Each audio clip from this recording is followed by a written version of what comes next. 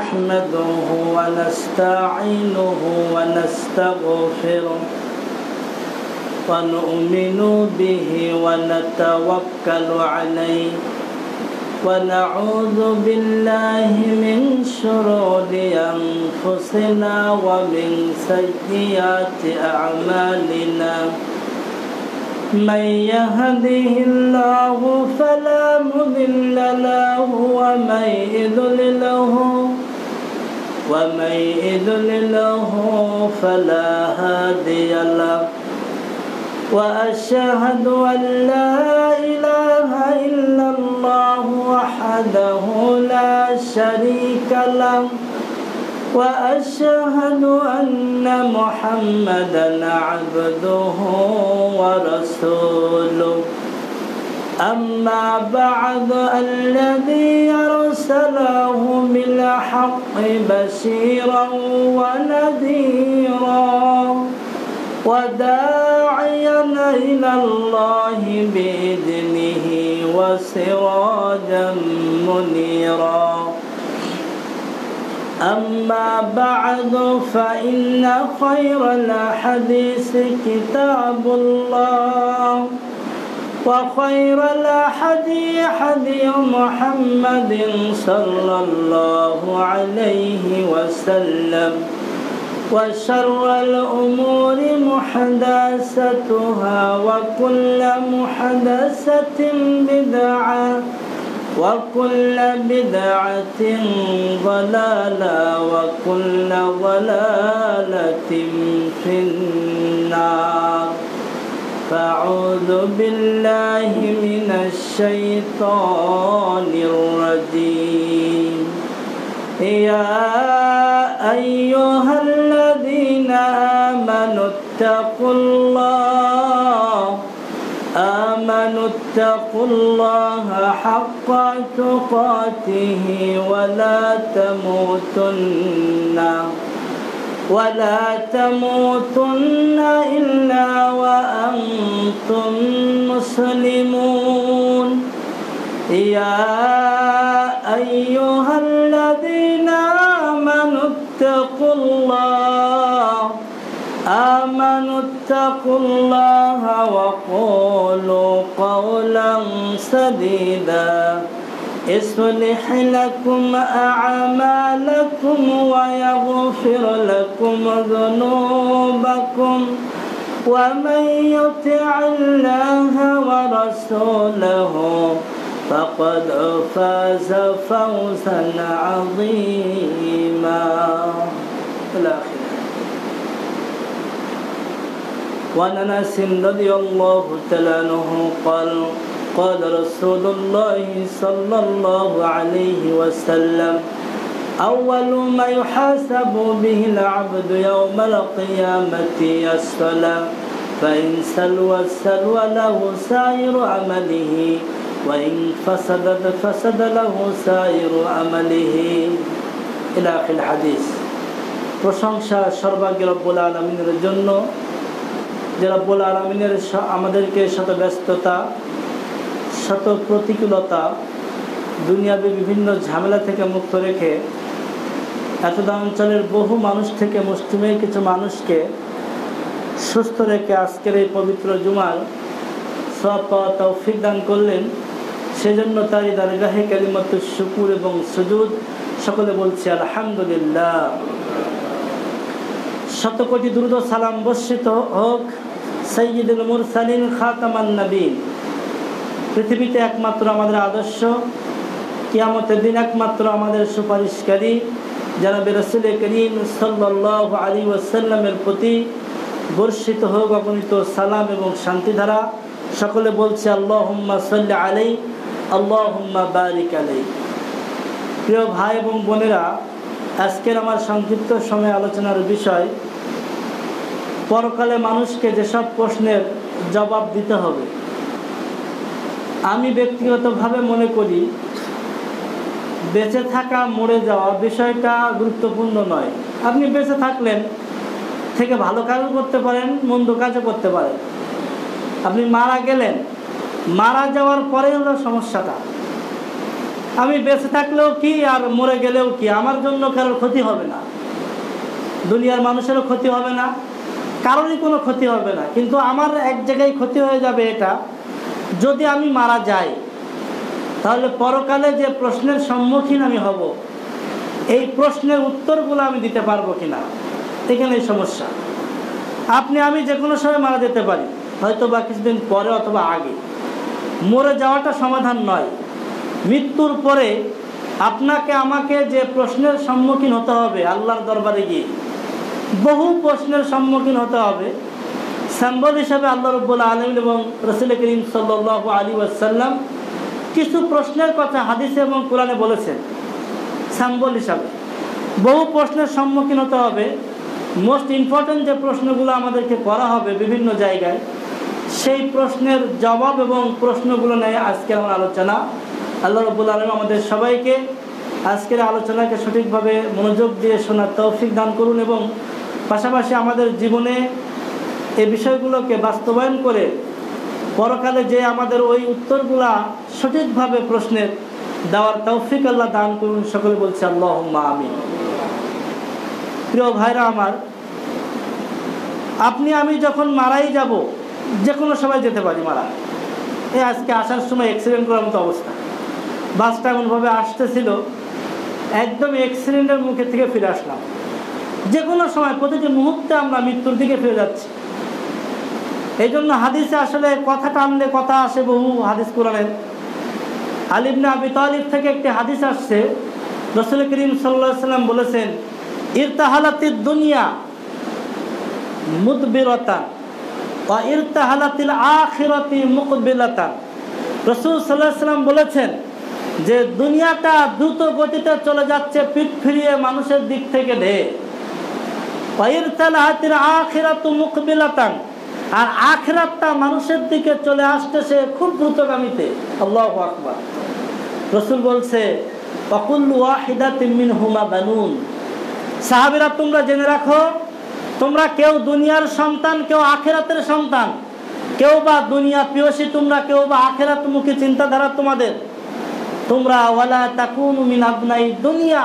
তোমরা দুনিয়ার সন্তান হয়ে না, দুনিয়া প্রিয়সী হয়ে না, দুনিয়ামুখী হয়ে না। তোমরা কি হবে? আখেরা। তোমরা আখেরা তোমাকে হয়ে যাও বলুন সুবাহান কেন হবে এটা? আমালুন ওয়ালা হিসাবুন গাদান আমালুন। এজন্যই তোমরা আখেরাত মুখী হয়ে যাও। দুনিয়ার চিন্তা ভাবনা কমিয়ে। কারণ হলো আজকে দুনিয়াতে তোমার কাজের জায়গা, আমলের জায়গা, কেউ তোমাকে আজকে হিসাব নিবে না। আপনি ভালো করলেন, কি পাপ করলেন, সবের কাজ করলেন, কি গুনার কাজ করলেন, কেউ কেউ বলেন তো আমাদের হিসাব নিবে এখন? আল্লাহ হিসাব নিবে না। অবদান আর যখন মৃত্যুর পরে আখেরাতে যে ওখানে হিসাবের জায়গা আমল করার সুযোগ নাই, অনেকে আকুতি করে বলবে যেটা সুরা মুমিনুনের আপনার নিরানব্বই থেকে একশো নম্বর আয়াত আল্লাহ বলেছেন, যখন মানুষের আজরাইল মানে মালাকুল মাউথ যখন মৃত্যুর ফ্রেস্তে এসে যাবে, সবাই কিন্তু আমরা আকুতি করে, কান্নাকাটি করে আল্লাহর কাছে আরোপ করব, আল্লাহ, আমাদের কিছুক্ষণ সময় আল্লাহ দেন। কিছুক্ষণ রব্বের যে রব্বের যে আইন রব্বের যে আল্লাহ আমাদেরকে দুনিয়াতে একটু ফিরিয়ে দিন।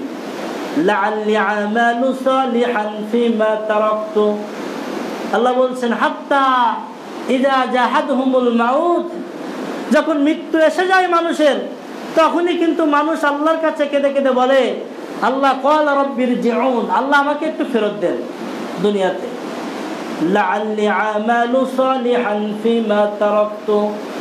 দুনিয়াতে যে ভালো কাজগুলো আমি করি নাই, আলেমুল আমার কথা শুনি নাই, কোরআন মানি নাই, হাদিস মানি নাই, আল্লাহ গো, দুনিয়াতে আমাকে একটু কিছু সময়ের জন্য সুযোগ দিয়ে দাও।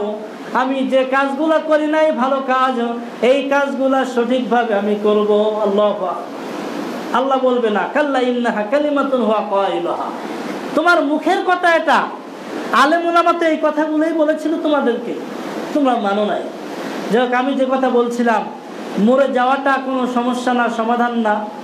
সমস্যা হলো মৃত্যুর পরে আমরা জবাবদিহি করতে পারব কিনা।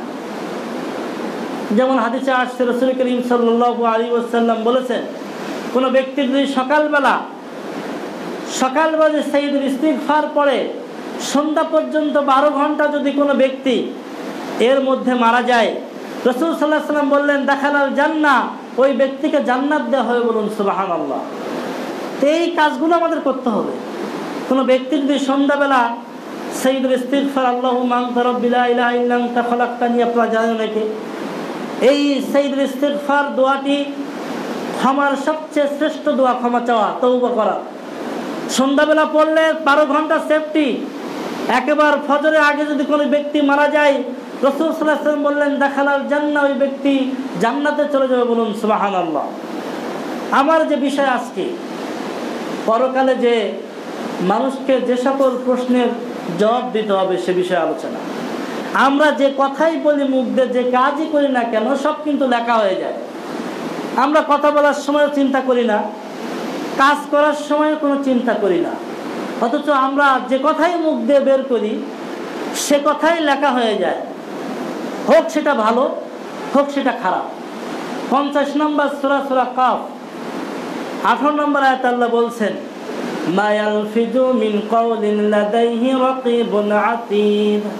আল্লাহ বলছেন, বান্দারা, তোমরা মুখ দিয়ে যে কথাই বের করো, তোমাদের বের করতে দেরি হয়, আমার ফ্রেস্তারা এটা লিপিবদ্ধ করতে দেরি হয় না। আল্লাহ আপনি যে কথাই মুখ দিয়ে বের করেন, আমি যে কথাই মুখ দিয়ে বের করি, সেটা ভালো হতে পারে অথবা খারাপ।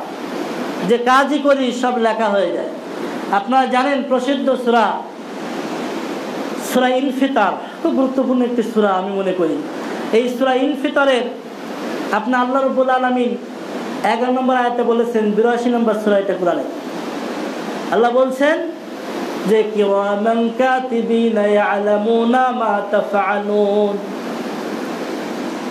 আমার ফেস্তা বৃন্দ আমার লেখক বৃন্দ আমরা বলি কিরামান আর কাতেবিন। কিরামান আর কাতিবিন দুইজন ফেস্তার নাম।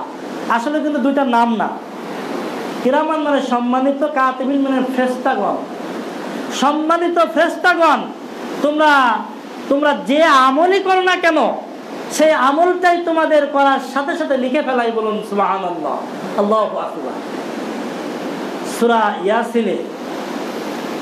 ছত্রিশ নম্বর সুরা, আল্লাহ রবুল ছত্রিশ নম্বর সুরায় বারো নম্বর আয়াত আল্লাহ বলছেন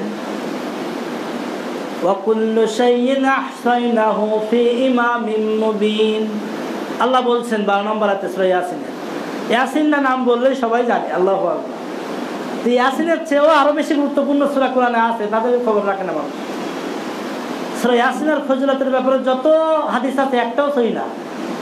আমার জানা মতে জানার বাইরে থাকতে পারে। কিন্তু সুরা বাকারা, সুরা আলী ইমরান এরম যে কত মর্যাদা, আরও সুরা আছে। সুরা ইকলাস তিনবার পড়লে কোরআন একবার খতমে সব সৈয়াদিস সুবাহান একবার পড়লে দশ পারা আর একবার পড়লেন দশ পারা আর একবার পড়লেন দশ পারা, তিনবার পড়বেন, পুরা কোরআন খতমের নেকি হয়ে যাবে আপনারা বললাম সুবাহান আর এই যে সুরা আলে ইমরান, সুরা বাকারা কিয়ামতের মাঠে হাদিসে আসছে, পাখির ঝাঁকের মতো, অন্য হাদিস আছে ছাতার মতো, অন্য হাদিস আছে মেঘমালার মতো, কিয়ামতের ময়দানে যারা এই সুরা বাকারা আলে ইমরান পড়বে সুরা মূর্খ পড়বে, অন্য হাদিস আছে। যারা পড়বে, তাদের জন্য সুপারিশ করার জন্য তাদের কথা হবে। এই সুরা একটা রূপ দিয়ে দিবে আল্লাহ। কোন হাদিস আছে ছাতার মতো, কোন হাদিস আছে মেঘমালার মতো, কোন আছে পাখির মতো।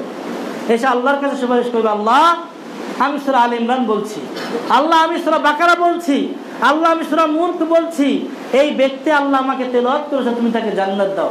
রসুল বলেছেন, ওই সুরার সুপারিশকে কবুল করে আল্লাহ ওই ব্যক্তিকে জান্নাত নসিব করবে সুবাহান আল্লাহ সুরা ইয়াসিন সম্পর্কে বলছিলাম, আল্লাহ বলছেন সুরা ইয়াসিন, ওকুল্লা শাইন আসাইনাহু ফি ইমামিন মুবিন। আল্লাহ বলছেন, ওকুল্লা শাইন আমি আল্লাহ প্রত্যেক বস্তুই আহসাইনাহু, আমি ওটাকে লিখে রাখি, লিপিবদ্ধ করে রেখেছি ইমামি মুবিন, একটা স্পষ্ট আমল নামায় তোমাদের যে আমল নামা সেখানে পড়তে অসুবিধা হবে না। পরীক্ষার খাতায় লেখার সময় সবার হাতে লেখা কিন্তু একরকম না। কারও একটু স্পষ্ট লেখা, সুন্দর লেখা, বোঝা যায়। কারোর লেখা সুন্দর না, বোঝা যায় না। কিন্তু আল্লাহ বলছে, ইমাম মুবিন একটা স্পষ্ট আমল নামায়, যেখানে কোনো দুর্বোধ্যতা থাকবে না। স্পষ্টভাবে সুন্দর ভাষায় লেখা থাকবে তোমাদের আমল নাম। আল্লাহ তার মানে আমি বোঝাতে চাইলাম, আমরা যা করি না কেন, সব কিন্তু লিখিত হচ্ছে। এমনকি সুরা বানী ইসরাইল, সতেরো নম্বর সুরা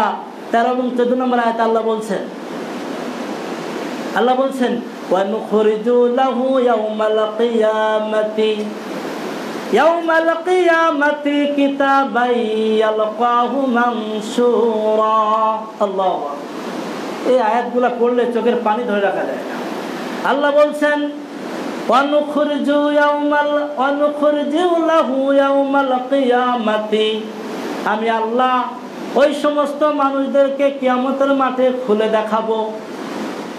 আমল নামাটা কিতাবান একটি আমল একটি আমল নামা একটি দস্তারখানা, লিখিত একটি প্রমাণ আমি মানুষদেরকে খুলে দেখাবো। তার এমন অবস্থায় থাকবে সেটা একেবারে খোলা অবস্থায় থাকবে যে বন্ধ আছে, খুলে দেখবে, এমন না, খুলে দিব, দেখো তোমরা। তারপর আল্লাহ বলবেন ইকুরা কিতাবাকা কাফা বিনাফসিকা লিয়াউমা আলাইকা হাসিবা। ইকরা কিতাবাকা। হে মানুষ, আজকে তুমি তোমার আমল নামা নিজে পড়ো। কাফা, তুমি যথেষ্ট।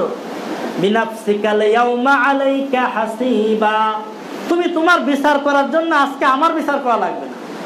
তোমার বিচারটা তুমি করে দাও আজকে তোমার জন্য, তোমার হিসাবের জন্য তোমার বিচারের জন্য আজকে তুমি নিজেই যথেষ্ট আমার কিছু বলা লাগবে না তুমি নিজেই পড়ো পড়ে তোমার জন্য আজকে তুমি যথেষ্ট আল্লাহ আকবার তো এই জন্য ভাই এই এত কথা বলার উদ্দেশ্য হলে এটা যেটাই বলি সেটা লেখা হয়ে যায় যেটাই করি সেটাই লেখা হয়ে যায় এমনকি সুরা জিলজাল নিরানব্বই নম্বর সুরা কোরআনের আল্লাহ বলছেন فمن يعمل مثقال ذرة خيرا يرى ومن يعمل مثقال ذرة شرا يرى জাররা একেবারে ক্ষুদ্র কি ক্ষুদ্র যেটা অনুবেক্ষণ যন্ত্র দিয়ে দেখা লাগে এমন জাররা পরিমাণ ভালো কাজ যদি কোনো ব্যক্তি করে কিয়ামতের মাঠে সেটা সে দেখতে পাবে আপনি ভুলে গেছেন হয়তো যে একজনকে একটা লোক আপনাকে বলেছিল ভাই এই জায়গায় যাব রাস্তাটা কোন দিকে এই কথাটা আপনি ভুলে গেছেন কিন্তু আপনি আমল নামায় গিয়ে দেখবেন সেটার আমলও আপনার,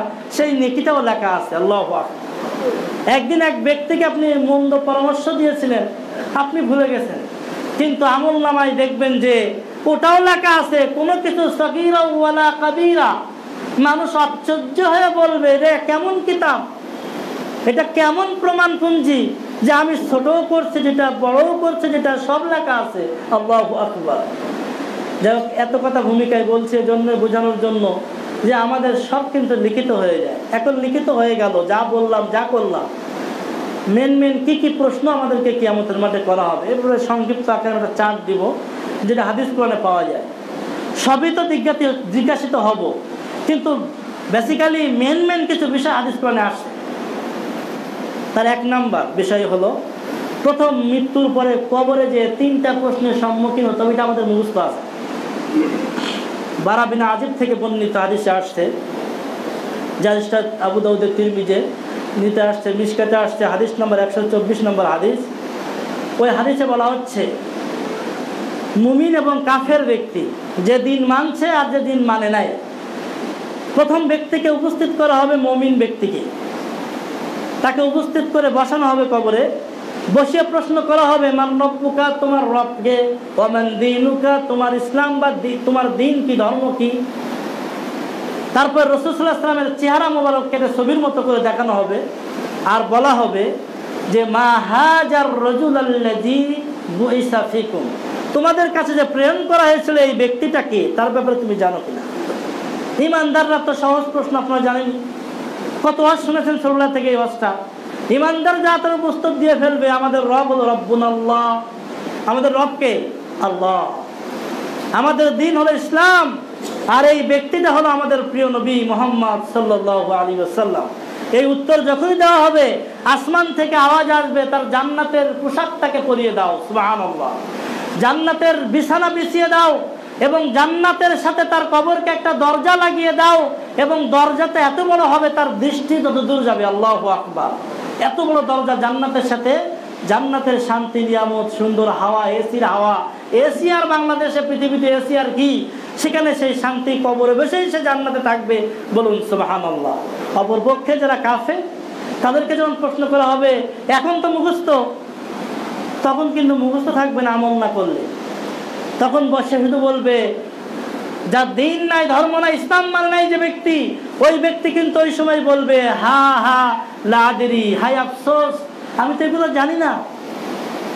তখন আল্লাহ বলবে, এই বেয়াদব, এই কাফের জন্য জাহান নামের আগুনের কাপড় ওকে পরিয়ে দাও, আল্লাহ আকবার। জাহান নামের আগুনের বিছানা ওর নিচে বিছিয়ে দাও, বসার এখানে, শোয়ার এখানে। এবং জাহান নামের একটি দরজা ওর কবরের সাথে মিশিয়ে দাও। এবং জান্নাতি ব্যক্তিত্ব কবরটা হবে বিশাল প্রশস্ত। আর এই জাহান্নামী ব্যক্তির আগুন তারপরে একই সংকীর্ণ করে দেওয়া হবে যে হাদিসে আসছে, তার এক পাকের পাজর আর এক পাশে চলে যাবে। আল্লাহ একেবারে চাপটা হয়ে যাবে। মানুষ কতটুকু চাপটা হলে তার এক সাইডের পাও আর এক সাইডে চলে যায়। এক সাইডের হাড় পাজর আর এক সাইডে চলে যায়। আপনি চিন্তা করে দেখুন। আল্লাহ এই শাস্তি জাহান নামের লুহাওয়া বইতে থাকবে। এই তিনটা প্রশ্নের উত্তর যদি আমরা ভালো লোক হই, ভালো ব্যক্তি হই, তাহলে কিন্তু দিতে পারব না, হলে দিতে পারব দ্বিতীয় নাম্বার বিষয় হলো, আমরা যে প্রশ্ন পরকালে জিজ্ঞাসিত হব, দুই নম্বর বিষয় সালাদ সম্পর্কে কিয়ামতের মাঠে সর্বপ্রথম জিজ্ঞাসা করা হবে। সালাদ সহি ছিল কিনা? সালাদ সঠিকভাবে আদায় করেছিলাম কিনা? আপনারা জানেন হাক্কুল ইবাদ এবং হাক্কুল্লাহ। মানুষের কিন্তু হক দুইটা, এক হলো আল্লাহর হক, একটা মানুষের হক। হাক্কুল্লাহ হলো আল্লাহর ইবাদতের সাথে আল্লাহর সাথে জড়িত হকগুলো। আর হাক্কুল ইবাদ হলো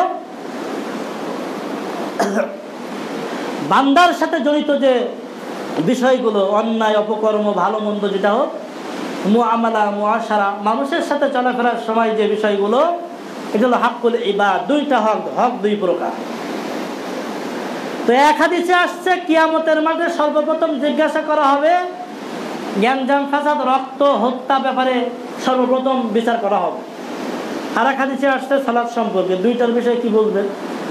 দুইটাই প্রথমে জিজ্ঞাসা করা হবে। আর এক হাদিসে সমাধানই দেওয়া হয়েছে, সরাসরি হাদিসে বলা হয়েছে যে প্রথম সলাতের, তারপরে নেওয়া হবে হাক্কুল ইবাদ সম্পর্কে, রক্ত সম্পর্কীয় যে জ্ঞানজাম ফেসাদ।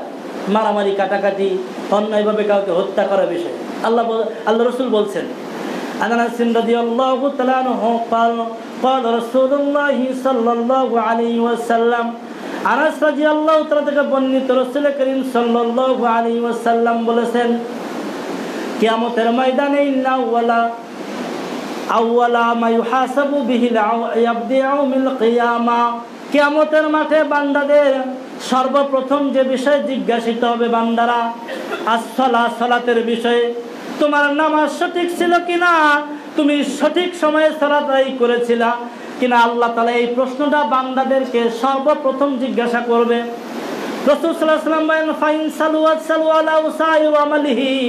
যে ব্যক্তি তার সালাতের সঠিকভাবে হিসাব দিতে পারবে। তার সমস্ত আমলকে আল্লাহ গৃহীত হবে আল্লাহর কাছে।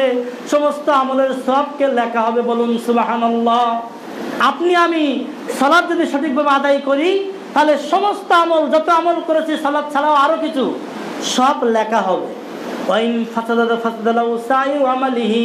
আর যদি এই সালাতের হিসাব না দিতে পারি, জীবনের যত ভালো কাজ করেছি, সব কাজগুলোকে বাতিল করে দেওয়া হবে।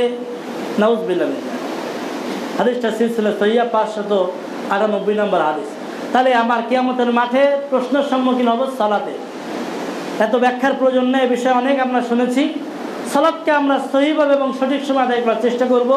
আল্লাহ তৌফিক দান করে সবাই বলছে আল্লাহ মা আমি আর যে রক্ত সম্পর্কে বলা হয়েছে হাদিসে আউয়ালু মা মা ইয়কুজা বাইনান নাসি ফিদ্দিমা আল্লাহ রসুল বলেছেন, সর্বপ্রথম বান্দার মাঝে মানুষের মাঝে যে রক্ত সম্পর্কিত যে সমস্ত গ্যাঞ্জাম, ফ্যাসাদ, অন্যায়ভাবে হত্যা, এ বিষয়ে প্রথম জিজ্ঞাসিত হবে মানুষ, কেন তুমি এই ব্যক্তিকে হত্যা করেছিলে? যাকে হত্যা করা হয়েছে, সে বলবে, আমাকে কেন নির্দয়ভাবে, আমি কি অন্যায় করেছিলাম? এই বিষ প্রয়োগ করে খাদ্যের মাধ্যমে আমাকে হত্যা করেছিলে। বাংলাদেশে যত ফ্যাক্টরি আছে, যত আপনার কেমিক্যালের ফ্যাক্টরি হোক বড় খাদ্যদ্রব্যের যত পণ্য দ্রব্য যারা ভেজাল করে বিক্রি করতেছে, ফরমালিন হোক আর মেডিসিন হোক কেমিক্যাল যেভাবে হোক না কেন ফেসবুকে বিভিন্ন ইন্টারনেট ইউটিউবে আপনি দেখতে পাবেন, দুধের ফ্যাক্টরি দুধ কোম্পানি গোড়া দুধ বা এমনি দুধ। ওদের দুধই নাই। হতবাক আমি দেখি। ম্যাজিস্ট্রেটটা বিভিন্ন জায়গায় যে আপনার যে তদন্ত করতেছে, দেখতেছেন আপনার ভিডিও ফুটেজ সহকারে। দুধের কোম্পানিতে গিয়ে দেখে তো দুধই নাই। আবার কোনো কোম্পানিতে আছে, আট, দশ লিটার দুধ এতে সাতাইশশো লিটার দুধ বানানো হয়েছিল দিয়ে পাঁচ সাত লিটার দুধ দিয়ে সাতাইশশো লিটার দুধ বানানো হয়েছে। একটা কর্মচারীকে বলা হলো, তোমরা তো দই বানাইছো, একটু খাও তো। তো খেতে রাজি হয় না। লহ একবার এটা আপনার, আমার শিশুরা খাচ্ছে, আমাদের বাচ্চারা খাচ্ছে, আমাদের বোনেরা। আমাদের ছোট ভাইয়েরা খাচ্ছে এটা। বিষ খাচ্ছে বিষ। আমি বলতে চাই এটা, কেয়ামতের ময়দানে এই সমস্ত কোম্পানির মালিকেরা, যারা মানুষকে বিষ খাওয়ায় মারছে এরা প্রত্যেকে এবং যারা অনুমোদন দেয়, বিএসটি আইনা যে কি বলা হয় সরকারি যে কোম্পানি যে যারা অনুমোদন দেয়, কি বিএসটি আইনা নাকি ভুল হচ্ছে কিনা? বিএসটির মাধ্যমে যারা টাকা খেয়ে, এই ধরা হচ্ছে দুই দিন পর আবার ছেড়ে দিতে পারে, নাও দিতে পারে। কোনো ম্যাজিস্ট্রেট ভালো হলে হয়তো অনুমোদন দিবে না। ব্র্যান্ড করে দিবে একদম, বন্ধ করে দেবে। আবার যদি ম্যাজিস্ট্রেট টাকা দরকার হয়, তাহলে দেখা যাবে আবার গোপন আমলটা খুলে দেবে।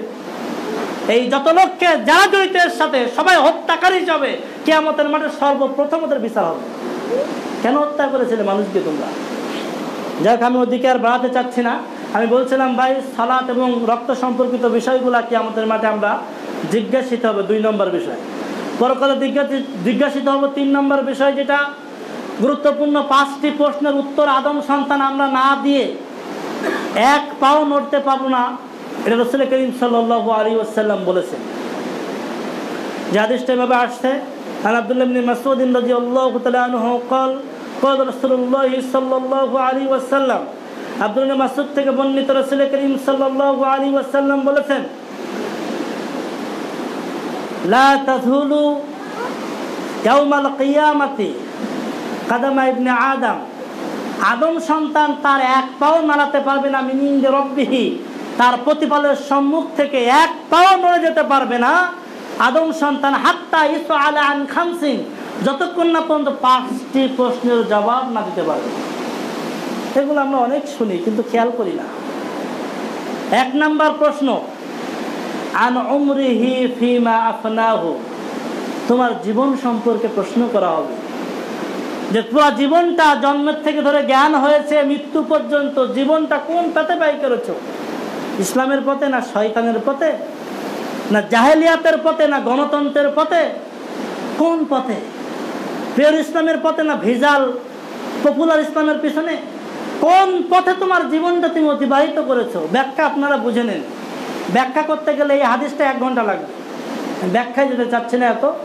আমি যে বিষয়গুলো বলতে চাচ্ছি, যে যে প্রশ্নগুলো করা হবে পরকালে আমাদেরকে, সেগুলো তো ইশারা দিয়ে যাব। জীবনটা কীভাবে কাটিয়েছি আমরা? আপনি কীভাবে কাটাচ্ছেন আপনি জানেন, আমি কীভাবে কাটাচ্ছি আমি জানি। প্রশ্ন করা হবে।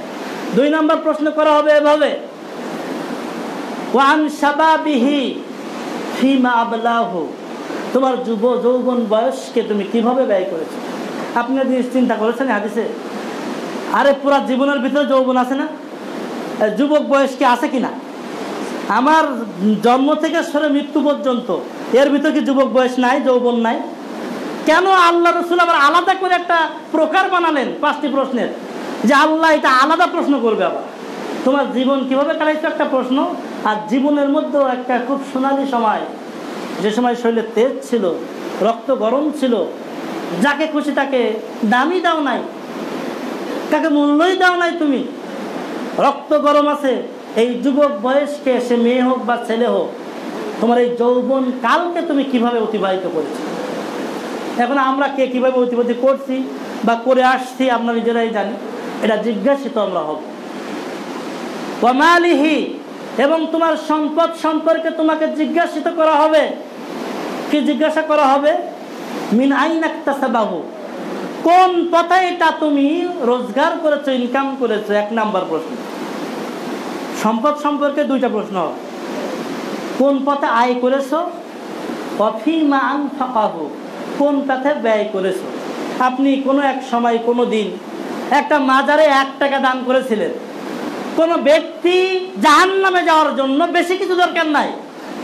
কোনো ব্যক্তির শিরিক বা মুশরিক হয়ে যাবে যদি কোনো ব্যক্তি কোনো মাজারে বা কোনো খানকায়, কোনো জায়গায় এক টাকা যদি দান করে, তাহলে সে ব্যক্তি জাহান নামে যাওয়ার জন্য দুনি, পৃথিবীতে আর কোনো পাপ করা লাগবে না।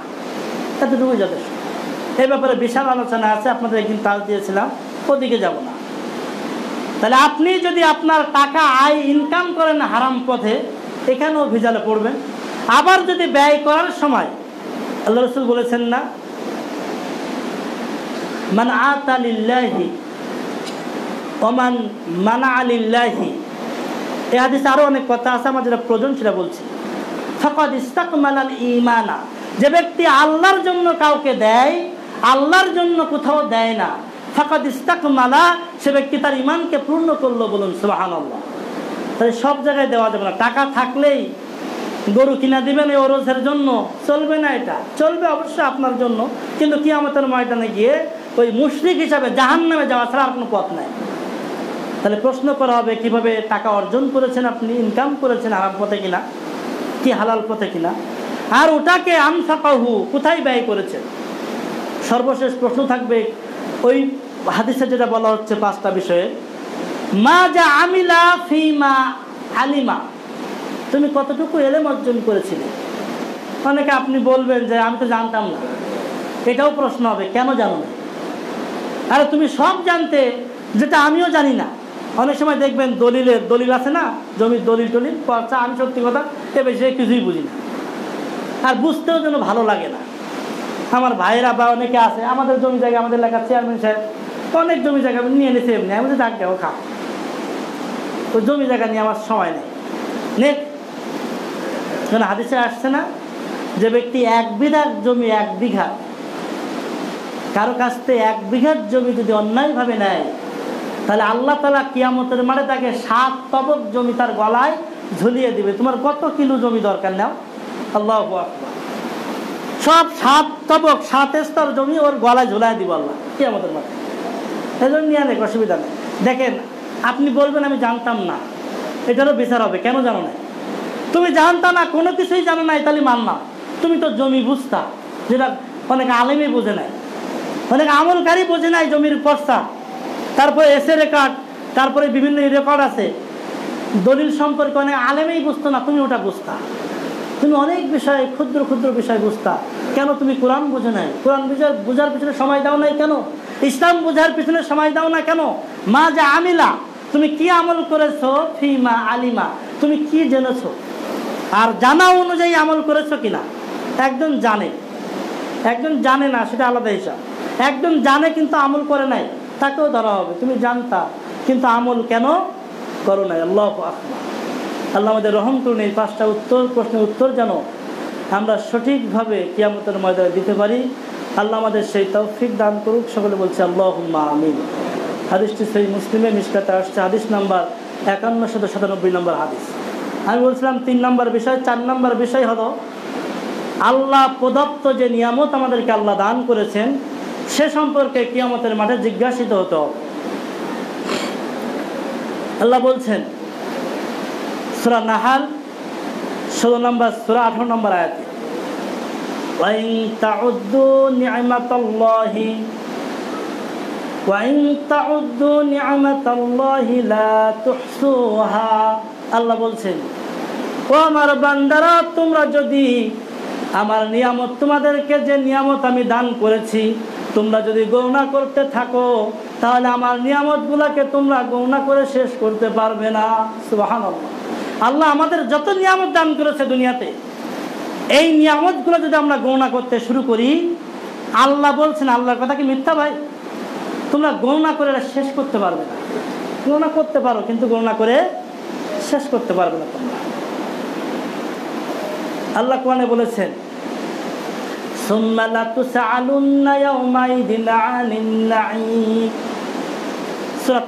আল্লাহ বলছেন একশত দুই নম্বর সুরা, আট নম্বর আয়াত, সুরা তাকাসুর। আল্লাহ বলছেন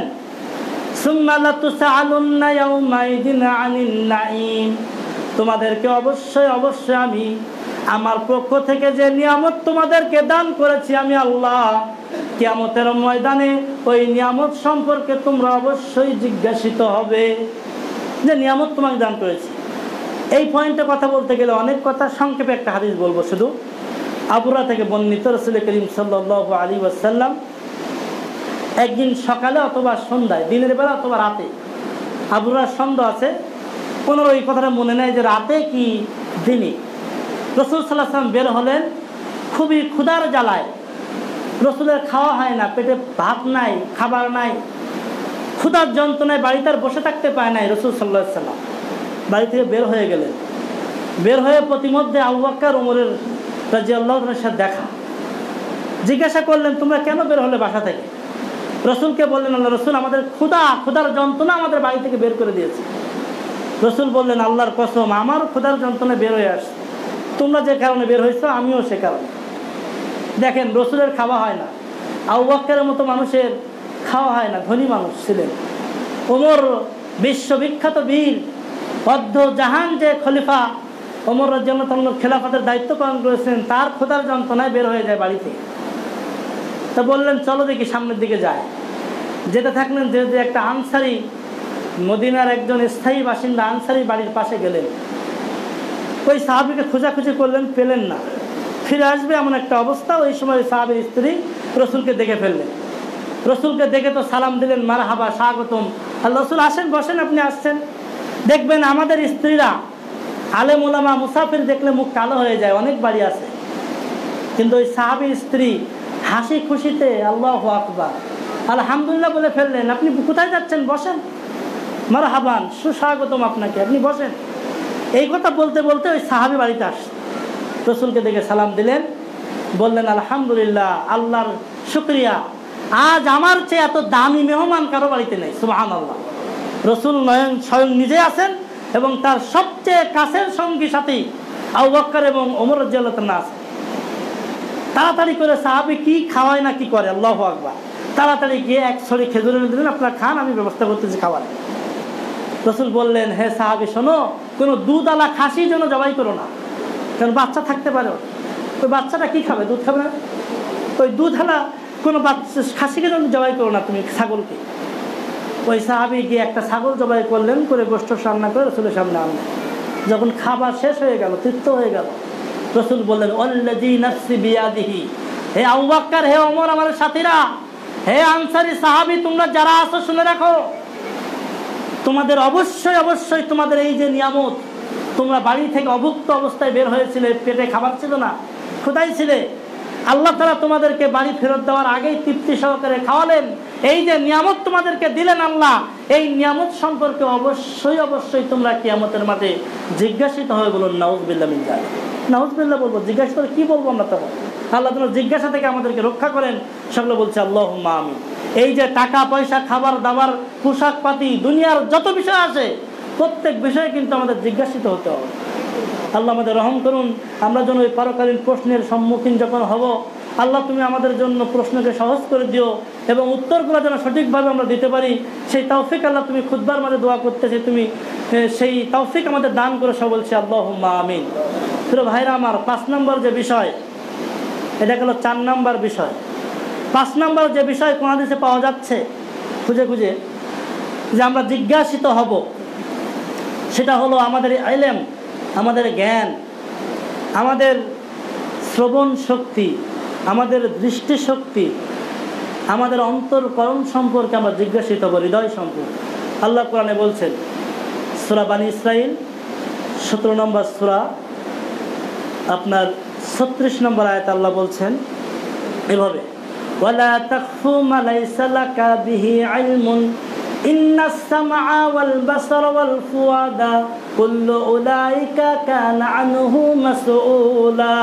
আল্লাহ বলছেন লাকা বিহি হে মানুষেরা, তোমাদের যে বিষয়ে জ্ঞান নাই, সে বিষয়ে তোমরা হাত দিও না, সে বিষয়ে প্রচারিত হইও না। আমরা দেখবেন যে বিষয়ে জানি না তো মাতবারি করতে যায়। আর যে জানি সে ব্যাপারে আর কথা বলি না। এ ব্যাপারে বলতে গেলে বহুত কথা টান দেওয়া যাবে, আমি যাচ্ছি না ওদিকে। আল্লাহর নির্দেশ হলো তোমাদের এলেমের ব্যাপারে, জ্ঞানের ব্যাপারে, যে তোমরা যে ব্যাপারে তোমাদের জ্ঞান নাই, সেই কাজ তোমরা করতে যেও না। সেই পথে পরিচালিত হও না, সেই বিষয়ে কথা বলো না।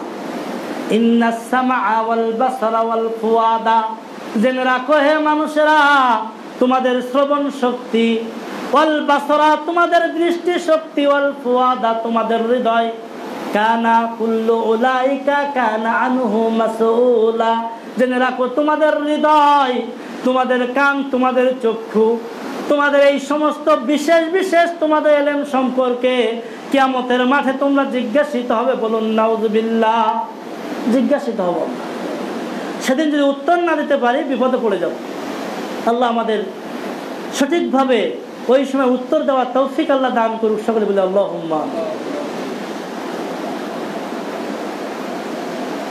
আল্লাহ বলছেন কোরআনের সুরা আপনার মূলকে সাতষট্টি নম্বর, সুরা তেইশ নম্বর আয়াত। আল্লাহ বলছেন, অকুল অকুল আংশাকুম। হেরাসুল আপনি বলুন আপনি বলুন এভাবে আয়ত্তে এভাবে, আপনি বলুন মানুষদেরকে যে আল্লাহ তোমাদেরকে সৃষ্টি করেছে আর আল্লাহ তোমাদের দান করেছেন তোমাদের তোমাদের শ্রবণ শক্তি, তোমাদের কর্ণ কান তোমাদের শ্রবণ শক্তি, তোমাদের দৃষ্টি শক্তি ওয়ালা আফিদা তোমাদের হৃদয় আল্লাহ দান করেছেন। অথচ তোমরা অধিকাংশ মানুষই আল্লাহর এই সমস্ত বিশেষ নিয়ামতের ব্যাপারে সুক্রিয়া আদায় করো না। আল্লাহ আল্লাহ রসুল বললেন, আল্লাহ রব্বুল আলমী কোরআনে বললেন বিশেষ বিভিন্ন জায়গায় যে এই সমস্ত নিয়ামত সম্পর্কে আমরা জিজ্ঞাসিত হব। যেহেতু আমার সময় কম, এজন্য আমি সংক্ষেপ করছি। এরপরে যে বিষয় আমরা জিজ্ঞাসিত হব, ছয় নম্বর বিষয়, সেটা হলো জিহাদ। এলেম এবং সম্পদের মধ্যে গুরুত্বপূর্ণ তিনটা বিষয় আমরা কিয়ামতের মাঠে জিজ্ঞাসিত হব হাদিসে আসছে কিয়ামতের মাঠে প্রথম একজন মুজাহিদকে উপস্থিত করা হবে, যে জিহাদ করছে আল্লাহর রাস্তায়। উপস্থিত করে তাকে তার যে নিয়ামত আল্লাহ দান করেছেন, শক্তি দিয়েছিল, অস্ত্র দিয়েছিল, ঘোড়া দিয়েছিল, এগুলো তাকে স্মরণ করিয়ে দিবেন। সে বলবে, আল্লাহ হ্যাঁ আপনি তো এই নিয়ামত আমাকে দান করেছিলেন। তখন বলবে, তুমি এই নিয়ামতের কি মূল্যায়ন করেছ একটু বলো। তখন ওই ব্যক্তি বলবে, আল্লাহ, মূল্যায়ন করি নাই মানে আমি জিহাদ করেছি তোমার রাস্তায় এমন কি শহীদ হয়েছি। তখন আল্লাহ বলবে, তুমি মিথ্যা বলেছ। তুমি যুদ্ধ করেছিল তোমাকে যেন মানুষ শহীদ বলে, মুজাহিদ বলে, বড় বীর বলে এই জন্য যুদ্ধ করেছিল। তোমাকে মানুষ মুজাহিদও বলেছিল, বীর বলেছিল, শহীদও এখন বলে। তোমার উদ্দেশ্য আমার জন্য ছিল না। সুম্মা উলকিয়া ফিন্নার ফ্রেস্তাদেরকে বলা হবে, একে জাহান নামে নিক্ষেপ করো। চিন্তা করতেছেন অবশ্য শহীদকেও ছাড় দেওয়া হবে না। ওখানে গিয়ে প্রশ্ন করা হবে। দুই নম্বরে একজন আলেমকে আনা হবে। তাকে বলা হবে, এই এলেম তোমাকে দান করেছিলাম। তোমার তোমার অবদানটা কি ইসলামের ব্যাপারে? আমার ব্যাপারে। অবদান কি তোমার?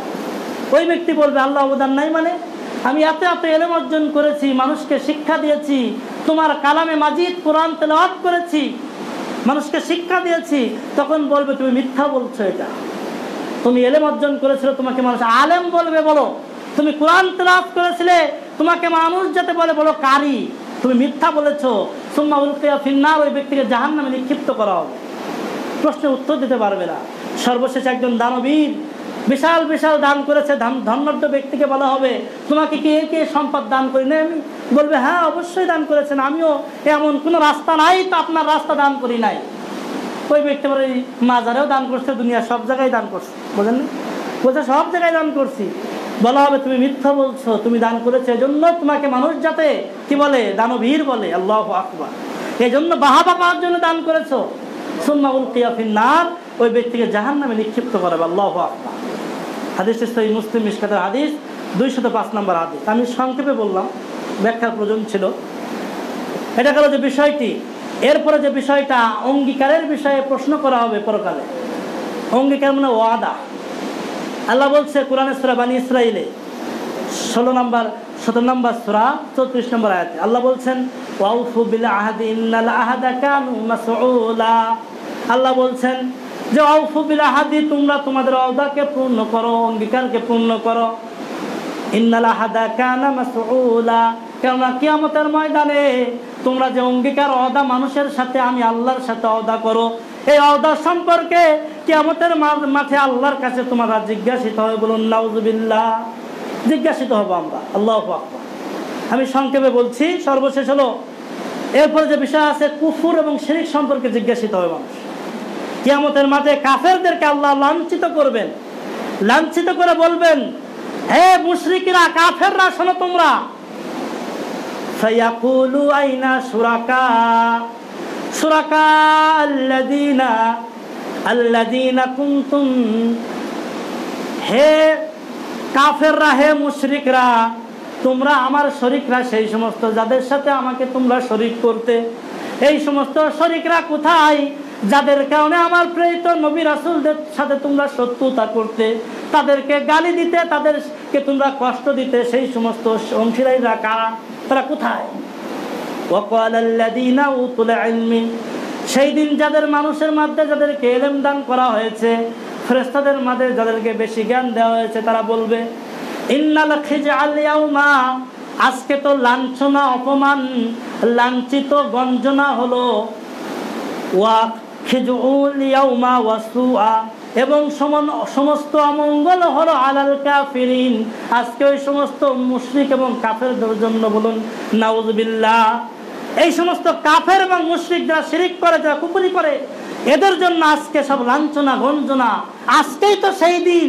তাদের জন্য শত অমঙ্গল আজকের দিন, আল্লাহ সর্বশেষ যে বিষয়টা আমি বলব, আরও দু একটা বিষয় ছিল, ছেড়ে দিলাম। সর্বশেষ হলো, রসুল গানের দাওয়াতের ব্যাপারে সাড়া না দেওয়ার ব্যাপারে জিজ্ঞাসিত হবে। রসুলগণ এখন নাই। আলেমুলামা আছে না ভাই? আমরা আছি না? আলেমুলামার দাওয়াতের ব্যাপারে আমরা দাওয়াত দিচ্ছি আপনাদেরকে দিনের রাস্তায়। এই সাড়া যদি না দেয় আমরা। এই ব্যাপারেও আপনি আমি জিজ্ঞাসিত হব আমাদের মাঠে। যেটা আসছে সুরা আরাফে, সাত নম্বর সুরা, ছয় নম্বর আয়াতে। আল্লাহ বলছেন, ফালা ফালা নুসালান্না। আমি ওই সমস্ত মানুষদেরকে জিজ্ঞাসা করব আল্লাহ ইলাইহিম?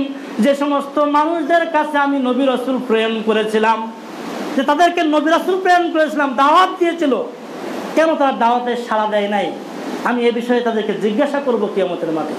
শুধু তাদেরকে না আর শুধু যাদেরকে পাঠিয়েছি নবী রাসুল, এদেরকেও জিজ্ঞাসিত করব আমি নবী রাসুলদেরকেও, তোমরা তোমাদের দায়িত্ব, নবুয়াত, আমি যে দাওয়াত নিয়ে তোমাদেরকে দুনিয়াতে পাঠিয়েছি, এই দাওয়াত সঠিকভাবে মানুষের কাছে পৌঁছে দিচ্ছি কিনা? তাহলে রসুলদেরকেও জিজ্ঞাসিত হবে, রসুলগণ এমনকি আমরাও জিজ্ঞাসিত হব যদি আমরা এই দাওয়াতকে মেনে না নেই। যাই হোক, সংক্ষেপে আমি আজকে যে বিষয়টি বুঝতে চেয়েছিলাম, সেটা হলো কিয়ামতের মাঠে এবং পরকালীন জীবনে আমরা যে যে বিশেষ বিশেষ বিষয়গুলো প্রশ্নের সম্মুখীন হব, সেগুলো কোরআন হাদিস থেকে আমরা যেগুলো পেয়েছি মোটামুটি আপনাদেরকে বললাম। আল্লাহ তালা আমাদের সবাইকে পরকালীন সমস্ত প্রশ্ন থেকে, প্রশ্নের সম্মুখীন থেকে আমাদের প্রশ্নগুলো সহজ করে দেওয়ার তৌফিক আল্লাহ দান করুক, সকলে বলছে আল্লাহ আমিন। এখন সংক্ষেপে দু একটা কথা, আমি একটা বিষয়ে বলব। আজকে ডেঙ্গু, জ্বর এবং বিপদ আপদ বাংলাদেশের বিভিন্ন সমস্যা অ্যাক্সিডেন্ট বলেন, বিভিন্ন সমস্যায় জড়িত না আমরা ভাই? ইসলাম সঠিকভাবে মানতে পারি না আমরা, আমাদের পরিবেশের কারণে। এটা সরকারের দোষ না। সরকার কিন্তু বলে নাই যে পাঁচত্ব নামাজ পড়া যাবে না। বলছে ভাই, সরকার তো ওই যে কি লাভটা বলেন? আমার বাড়িতে পর্দা করার ব্যাপারে কি সরকার নিষেধ করছে? করে নাই। আপনার বাড়িতে সিনেমা হল বানাই রাখছেন। সরকার কি বলছে যে প্রত্যেক বাড়ির সিনেমা হল বানাইতে হবে? বলছে? বলে নেই। তা নিজের ব্যক্তিগত, আপনার পরিবারে, আপনার রাষ্ট্রে আপনি ইসলাম কায়েম করেন না। আপনি যাবেন দেশের ইসলাম কায়েম করতে আপনার আপনার দেখলেই মনে হয় যে আপনি কত ইসলামিক। আবার আপনার চেহারা দেখলেই বোঝা যায়, আর আপনি যাইতেছেন, দেশে ইসলাম কায়েম করতে কোন নবী রাসুলকে আল্লাহ দেশ কায়েম করতে পারায় নাই, ব্যক্তি কায়েম করতে পারাইছে। কাকে? ব্যক্তি। নিজ পরিবার, তারপরে অন্যান্য ব্যক্তি। এক এক করে ধরবে, যাকে খুশি দাওয়াত দিবে। সবাইকে ইসলামের পথে আনা, একেবারে ইসলাম কায়েম করাটাই ফরজ না কিন্তু। আমার জীবনে কায়েম না হোক, আমার ছেলেপেলের জীবনে ইসলাম কায়েম না হোক, কিয়ামত পর্যন্ত ইসলাম কায়েম না হোক, কিন্তু আল্লাহ দেখবে এটা যে আমি কতটুকু ইসলাম কায়েমের জন্য, মানুষকে ইসলামী পথে আনার জন্য চেষ্টা করেছে, আল্লাহ এটা দেখবে। আল্লাহ দেখবে না তুমি কায়েম করতে পারো না কেড়ে তুমি দুই হাজার পঁচিশ সালের ভিতরে ইসলাম কায়েম করতে পারো না কেন? আল্লাহকে জিজ্ঞাসা করবে ভাই? এই ব্যক্তিকে তোমার রসুলের চাষাকেই তো রসুল দাওয়া দিতে আনতে পারে নাই, পারছে? আল্লাহ রসুল যখন পেড়াপিড়ি করতেছিল ওনার চাচাকে, যে চাচা, একবার বলেন আপনি আসা আদু আল্লাহ ইল্লাহ হাত ইয়াউমাল কিয়ামা, চাচা, আমি আপনার জন্য আবু তালিবকে বলেছিলাম আমি আপনার জন্য কিয়ামতের মধ্যে সাক্ষ্য থাকব, জান্নাতে নিয়েই ছাড়বো আপনাকে। আপনি একবার কালিমাটা পড়েন। আপনারা জানেন তো। আল্লাহ তারা ধমক দিয়ে বললেন না রসুলকে? কি বললেন? যে তুমি তুমি যাকে চাচ্ছ, হেদায়ত করতে। যাকে তুমি চাচ্ছ, সুরা আপনার এর ছাপ্পান্ন নম্বর আয়াতে আসছে, আল্লাহ বলছে, তুমি যাকে চাচ্ছ হৃদায়ত করতে, আমি যাকে ভালো না বাসলে, সে হৃদায়ত হবে না। আমার হৃদায়ত ছাড়া হৃদায়ত হবে না, পিড়াপিড়ি করার দরকার নাই। ওর মনে চাইলে হৃদায়ত হোক, না চাইলে না হোক। তাহলে আমরা দাওয়াত দিব, ইসলামের দাওয়াত। সঠিক কথা বলব। যার খুশি সে মানবে, না মানলে সে জাহান নেবে চলে যাবে। আমাদের তখন কোনো দায়িত্ব থাকবে না। আমি বলছিলাম, প্রিয় ভাইরা এই যে যত সমস্যার সম্মুখীন হচ্ছে আমরা, এর কিন্তু মূল মূল যে দায়ী হলো আমরা নিজেরা। আল্লাহ কোরআনে অসংখ্য আয়াতে বলেছে যে, পৃথিবীতে যত সমস্যার সৃষ্টি হয়, তা তোমাদের হাতের কামায় এই ডেঙ্গু জ্বর আমাদের হাতের কামায় আমরা পরিবেশকে পরিচ্ছন্ন করতে রাখতে পারি নাই। আমাদের আশেপাশের জায়গাগুলোকে নোংরা করে রাখছি আমরা। আল্লাহ বলছে তো দাঁড়া একটু দিয়া দেয় ডেঙ্গু জ্বর দিয়ে ডেঙ্গু মশা দিয়ে দিচ্ছে আমাদের পাপের কারণে গজবেগুলা আমি সংক্ষেপে বলছিলাম যে এক মিনিট বলব। দুইটা কারণে আমি অনেক সংক্ষেপ করছি আমার কথাকে। দুইটা কারণে মানুষের উপরে গজব আসে, বিপদ আসে। এক নম্বর পাপের কারণে। দুই নম্বর হলো মানুষের পরীক্ষার জন্য। কথা বুঝতে পারছেন তো আল্লাহ আপনার আমার উপরে বিপদ দেয় দুই কারণে। একটা টেস্ট করে দেখে যে আপনার ইমানটা কত মজবুত। আর একটা হলো আপনার পাপের কারণে, আমার পাপের কারণে আল্লাহ বিপদ দেয়। তো সমাধান কি? যখন বুঝতে পারবেন আপনি আমার পাপের কারণে, তখন বেশি বেশি ক্ষমা চাইতে হয়। কী করতে হয়? এখন আমাদের জাতীয়ভাবে ক্ষমা করা দরকার। আমি যা দেখতেছি, প্রত্যেক মসজিদে আমাদের ব্যক্তিগতভাবে সবাইকে আল্লাহর কাছে ক্ষমা চাওয়া দরকার। ক্ষমা চাইলে যদি আল্লাহ আমাদের গজব থেকে রক্ষা করেন। পাশাপাশি আমাদের নোংরা জায়গাগুলো, পানির জলাবদ্ধতা, বিভিন্ন যে আপনারা নেটে বিভিন্ন জায়গায় শুনতেছেন ডেঙ্গু জ্বর কেন হয়, কীভাবে হয়, এগুলো আপনারা সেইগুলা খেয়াল করবেন। পাশাপাশি যখন বুঝতে পারি আমরা আমাদের পাপের কারণে না, তখন ধৈর্য ধরতে হয়, আল্লাহর কাছে সাহায্য চাইতে হয়, যে আল্লাহ তুমি সাহায্য করো। ঠিক আছে? বিশেষভাবে আমি বলব, সর্বপ্রথম যে বিষয়টা ডেঙ্গু জ্বর বিষয়। আমরা দেখেন ইসলাম না মানার কারণে আজকে বেশি সমস্যায় পড়ি। আল্লাহ রসুল সাল্লাহ আসলাম একটা হাদিসে বলেছেন, যদি কোনো ব্যক্তি সন্ধ্যাবেলা, আপনি সকালে পড়তে পারেন যে রসুলের সন্ধ্যা ছিল সন্ধ্যাবেলা। হাদিসটা ইবনে মাঝে আসছে, আপনার মিসকাতে আসছে, হাদিস নাম্বার, ইবনে মাজা দ্বিতীয় খণ্ড, দুইশো ছেষট্টি নম্বর হাদিস। ওখানে একটা দোয়ার কথা বললেন রসুলাম বললেন যে আউজ বিকালিমাতিল্লাহিতামাতি মিংসারিমা ফলা রসুল বললেন, যে ব্যক্তি এই দোয়াটি পড়বে সন্ধ্যায় তিনবার, কোনো ক্ষতিকর প্রাণী ওই ব্যক্তিকে কামড়াবে না বলুন সুবাহান আল্লাহ হতে পারে মশা, ডেঙ্গু মশা, হতে পারে কুকুর, সাপ, যত প্রাণী আছে পৃথিবী বিষাক্ত, ক্ষতিকর। আমি এটা বারবার বলি, অনেক মসজিদেই বলেছি, বাড়িতে গেছিলাম খুদবা দিছি, ঈদের পরে যে খুদবা দিলাম আমাদের সাতক্ষীরার সবচেয়ে বড় মসজিদে, আগেই বলে রাখছিল সভাপতি সাহেব, বাড়ি আসলে খুদবা দিবেন। তা আমরা ছোট্ট একটা মানুষ ওখানে গিয়ে খুদবা দিলাম, আলহামদুলিল্লাহ। তাই খুদ্বায় বলেছিলাম, আজও বলছি, পৃথিবীর সমস্ত মানুষ যদি তাদের ইমান আছে যাদের ইমান সত্য যাদের ইমান আছে, তারা যদি সন্ধ্যাবেলা এই দোয়াতে তিনবার পড়ে, পৃথিবীর কোনো মানুষের একশো পার্সেন্ট চ্যালেঞ্জ দিয়ে বলছি, তার ক্ষতিকারক ডেঙ্গু, মশা কেন, সাপ কেন, কুকুর কেন, পৃথিবীর কোনো ক্ষতিকারক প্রাণী থেকে স্পর্শ করবে না, কামড়াবে না। মশা কামড়াতে পারে, এমনি মশা। কিন্তু যে মশায় ক্ষতি আপনার একশো পার্সেন্ট গ্যারান্টি দেওয়া হচ্ছে। এটা আমার কাছ থেকে ইমাম সাহেব কাছে লিখে নিয়ে যাবেন দোয়াটা বা মুস্ত করে নেবেন, ছোট্ট দোয়া। আউজ বিকালিমিতিল্লাহি তাম্মাতি শাররি মা খালাক। কেন বললাম হাদিসটা রসুল্লের সাহাবি আসলেন? আল্লাহ রসুলকে আল্লাহ রসুল? আমার তো বিচ্ছুই কামড়াইছে, যন্ত্রণায় বাঁচি না। রসুল বললেন, তুমি কি ভুলটা না করলা? তুমি যদি সন্ধ্যাবেলা এই দোয়াটি তিনবার পড়তে, তাহলে তোমার এই ক্ষতিকর প্রাণী কামড়াতে পারতো না। সুবাহান আল্লাহ দেখেন আদেশ এরপরে দেখেন আমাদের যে বিপদগুলো আরও ঘটতেছে, আমাদের কি ঘটতেছে? আমাদের অ্যাক্সিডেন্ট আমাদের বাচ্চা কাচ্চা, গলা কাটা, এই সেই, বিভিন্ন শুনতেছেন না? তিনটা আমল আমি বলি সিরিয়ালে এক নাম্বার আমল হলো বাড়ি থেকে বের হওয়ার দোয়া। এই দোয়াটা আমরা অনেকে জানিও না, মানিও না, কিছুই না বিজালে আসি আনাস্তানা থেকে বন্দিত রসুল করিম সাল্লাহ আলী আসাল্লাম বলেছেন, কোনো ব্যক্তি যদি বাড়ি থেকে বের হওয়ার সময় এই দোয়া পড়ে, একশো পার্সেন্ট চ্যালেঞ্জ করে আসছে সারা বিশ্বব্যাপী। কোনো ব্যক্তি যদি এই দোয়া পড়ে, আল্লাহ যদি তা আগেই নির্ধারণ না রাখে বিপদ, ওই ব্যক্তি বিপদে পড়বে না পড়বে না পড়বে না। কেউ ক্ষতি করতে পারবে না তাকে। রসুল আদি সত্য। আনাজ বলছেন, রসুল করিম সাল্লাম বলেছেন কোন ব্যক্তি যদি বাড়ি থেকে বের হওয়ার সময় বলে, বিসমিল্লাহি তাওয়াক্কাল তাআলাহি লা হাওলা ওয়ালা কুওয়াতা ইল্লা বিল্লাহ, ছেলে মেয়ে নিয়ে কত টেনশন। আপনার ছেলে মেয়ের এই দোয়াটা শেখান না একটু। এই দোয়াটা বাড়ি থেকে পড়ে বের হলে রসুল বলছেন, মানুষ তো ক্ষতি করতে পারবে না, পারবে নাই। শয়তান আর এক শয়তানকে বলে, তুমি এই ব্যক্তির ব্যাপারে কি বলো? যে ব্যক্তিকে আল্লাহ নিরাপত্তা দান করেছে এই দোয়া পড়ার কারণে তুমি তার কিছুই করতে পারবে না। সুহান আল্লাহ মানুষ তো দূরের কথা, শয়তানও পারবে না। আল্লাহ আল্লাহ হাদিসটা সই আবু দাউদ, তিরমিজি, মিসকাতের। তিরমিজির মূল কিতাব, দুইশত পনেরো পৃষ্ঠা হাদিসটা আসছে। আমি বলছি, তিনটা আমল বলছি, নিজেকে সেভ রাখা।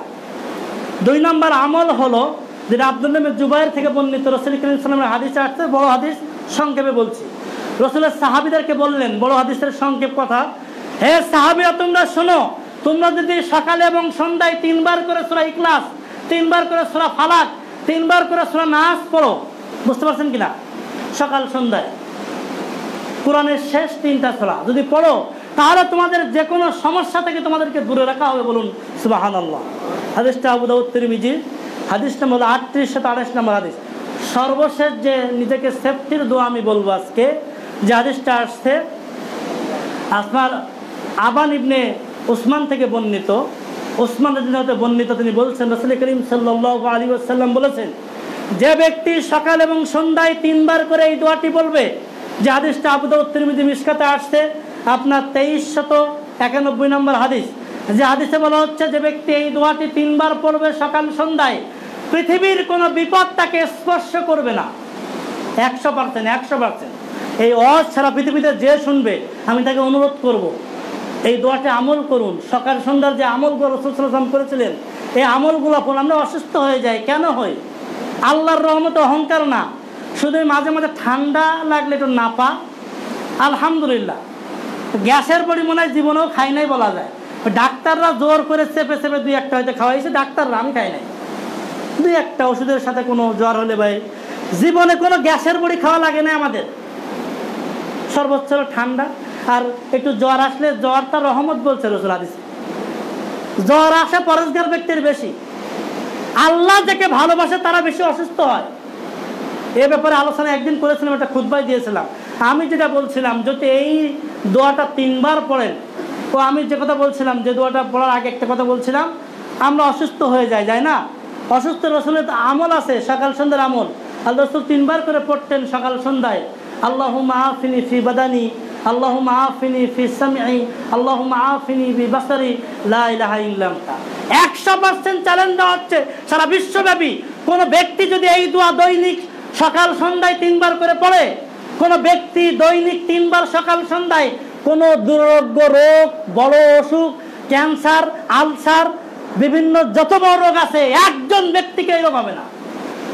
চ্যালেঞ্জ একশো পার্সেন্ট দেওয়া হচ্ছে। কোনো ব্যক্তির হবে না। আমি ইচ্ছে আর বলতে পারব না ভাই। পৃথিবীর কোনো আলেম এভাবে বলতে পারবে না। আমার চেয়ে যে না আরও গুরুত্ব দিবে, আর কীভাবে গুরুত্ব দিবে বলে এই দোয়াগুলো আমল করুন সুন্দর আমল। সর্বশেষ যে বলছিলাম আমি, যে দোয়াটি বলছিলাম, সকাল সন্ধ্যায় যদি এই দোয়াটি তিনবার পড়া হয় বিসমিল্লাহিল্লাজি লা ইয়াদুররু মা'a ইসমিহি শাইউন ফিল ওয়ালা ফিস ছোট্ট দোয়া। সকাল সন্ধ্যার আমলের বলে যত দোয়া আছে, যত বই আছে, দেখবেন দোয়ার বইটই খুঁজে পাবেন হয়তোবা। এই দোয়াটা তিনবার সকাল সন্ধ্যায় পড়লে রসুল বলেছেন, ওই ব্যক্তিকে কোনো বিপদ, আপদ স্পর্শ করবে না।